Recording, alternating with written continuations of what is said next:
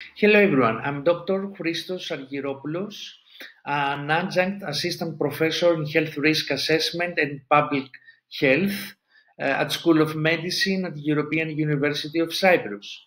And I have performed numerous uh, peer reviews for um, Journal of um, Medical Internet Research and JMIR Public Health and uh, Surveillance. I volunteer to peer review research because it's a valuable opportunity to stay current in my field, uh, hone my critical thinking skills, and contribute to the advancement of knowledge. The process of evaluating manuscripts for their scientific rigor, methodological soundness, and contribution to the field has sharpened my ability to critically analyze research.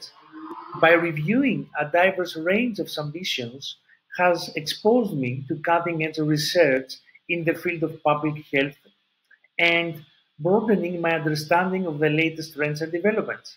By providing constructive feedback on manuscripts has helped me a lot to refine my own writing style and communication abilities.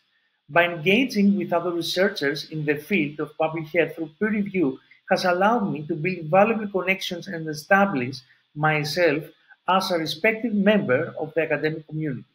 Overall, peer reviewing for JMIR has been a rewarding experience that has contributed to my professional growth and development. By reading and evaluating the work of others, I can identify new trends, methodologies, and findings that may be relevant to my own research.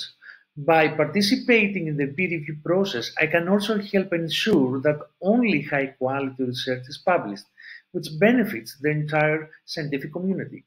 Finally, by interacting with the reviewers and the authors, I can expand my professional network and potentially collaborate on future projects.